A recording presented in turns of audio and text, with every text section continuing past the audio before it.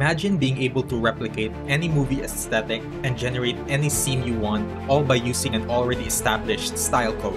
Doesn't matter if it's a rubber hose animation or GTA or Wes Anderson aesthetic or Tim Burton style or arcane animation, whatever. In case that wasn't crystal clear, you can copy any art style known to man and then you can generate them in Midjourney without lifting a finger. Now, some advanced users might say, but Evan, I already know how to use SREF and I get how mood boards work. And to that, I say, regardless of how much you already know or don't know, we're about to take things to a whole new level. If you're tired of generic AI art styles and want to create truly unique aesthetics that stand out, what I'm about to share with you, you won't find this anywhere else, as far as I know. First of all, SREF doesn't really work as well as intended. If you use an image for style reference, Midjourney doesn't just copy the style, it pulls in the actual contents of the image even when you don't want it to. So yeah, we're not doing that. Instead, we're using Midjourney's mood board feature, which actually lets you copy any style by simply uploading a collection of images. Pretty good so far? Well, here's the problem. Manually collecting images one by one is a massive pain, and most people don't have the time or patience for that. Wouldn't it be way more convenient if someone had already done the work and compiled an entire library of mood boards for different aesthetics? Yeah, that's exactly what I'm offering. Click the Google links in the description to access my mood board library. As you can see, I've compiled some of the most unique cinematic styles ever made.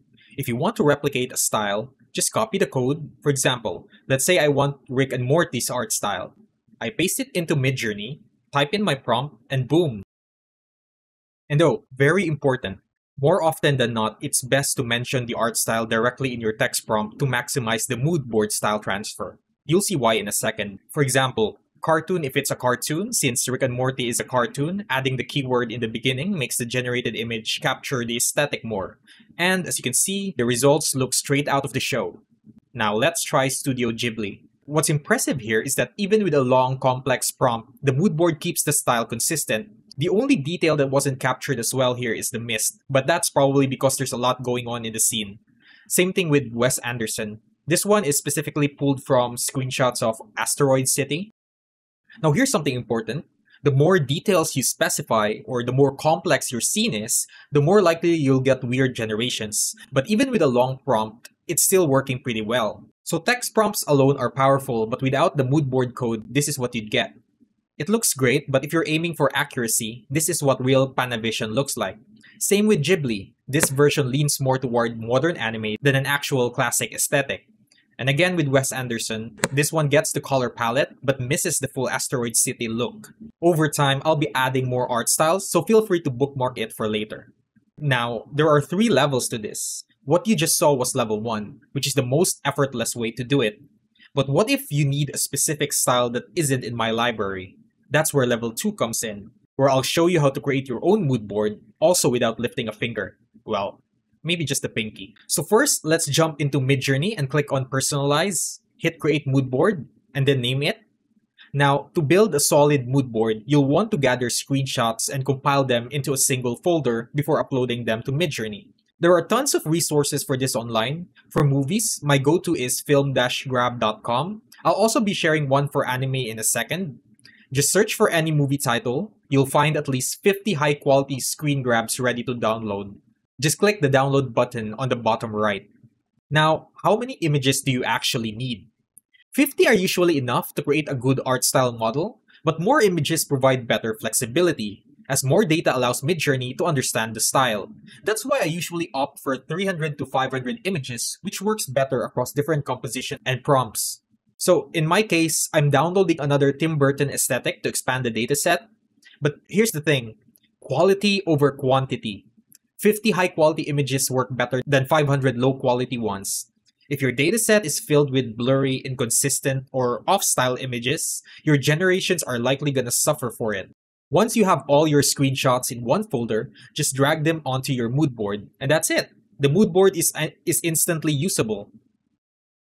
If you want to capture anime aesthetics, another great resource is animescreens4k.com. They've got a massive library of high-resolution screenshots from the most popular anime, and they're all downloadable through Google Drive folders. Speaking of which, one must-try trick is searching for Google Drive folders directly on the web. That's how I get most of my movie and anime screenshots. And trust me, you'd be surprised how many people share entire folders of high quality frames on Reddit, forums, and other sites. Now that your mood board is set up, using it is easy. Just click Use Mood Board, grab the code, and type in your prompt. And there you go! Not the best generation, but it certainly has that creepy gothic atmosphere that Burton is known for. If we generate the same prompt without the mood board, it looks like a regular stop motion picture. Now, the next level is optional because, well, level 2 already lets you create mood boards for almost every cinematic style. But for a few folks, nearly all doesn't really cut it. Level 3 takes it even further. You can capture screenshots from virtually any film using a custom software I made, this one-click app automatically takes screenshots from a video file at set intervals. For example, let's say I want to pull 500 screenshots from the classic animated film Heavy Metal. First, click Browse Video and select the file. Then, set the output folder where the images will be saved. The interval section determines how often a frame is captured. I usually set it to every 10 seconds, and from there, the app does the rest automatically grabbing the screenshots for you. I manually delete the bad frames, the ones with subtitles, text overlays, or anything that doesn't really reflect the aesthetic. Another reason this is optional is that I'm asking $6 for access to the app.